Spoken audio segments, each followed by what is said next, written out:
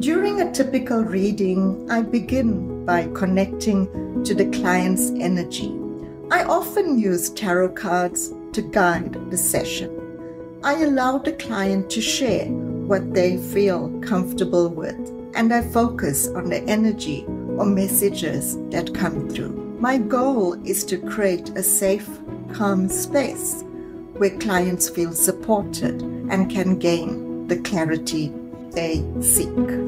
Trust your instincts when choosing a psychic and understand that a reading is meant to provide guidance, not set your future in stone. It's a tool to help you make empowered decisions.